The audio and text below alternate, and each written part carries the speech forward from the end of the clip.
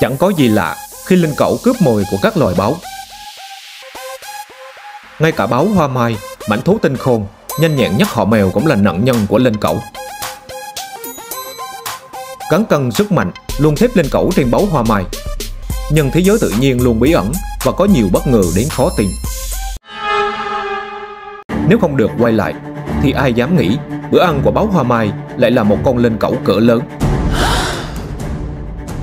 Làm cách nào mà nó có thể săn được con linh cẩu này? Tất cả giải thích hợp lý nhắm vào kỹ thuật săn mồi thượng thừa của nó. Kèm với đó là yếu tố may mắn khi con linh cẩu này đang đơn độc, có thể suy yếu sức khỏe.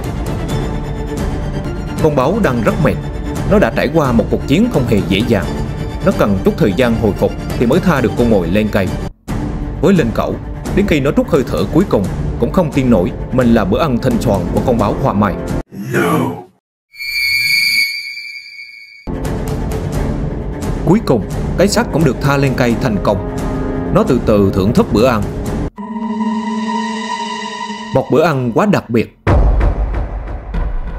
Báo hoa mai, những bóng ma của đồng cỏ. Chúng vô sức để săn bắt những con thú ăn cỏ với thịt thơm ngon. Nên chúng là loài kén ăn, càng không ăn xác thối. Sự khôn ngoan của chúng được đề cao ở đỉnh tiến hóa của loài hoang dã, nên chúng chẳng dại dột gì lâu mình vào để săn bắt các mảnh thú ăn thịt khác.